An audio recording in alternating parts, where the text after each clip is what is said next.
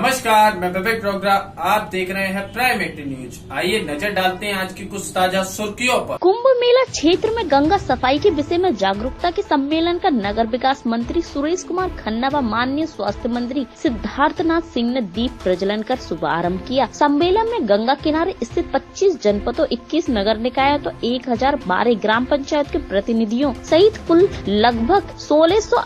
अधिक प्रतिभागी तथा प्रयागराज के स्वच्छ ग्रही व अन्य संगठन छात्रों से लगभग 4000 अन्य व्यक्ति द्वारा किया जाएगा प्रतिभाग प्रयागराज ऐसी उमेश चंद्र सोनी की रिपोर्ट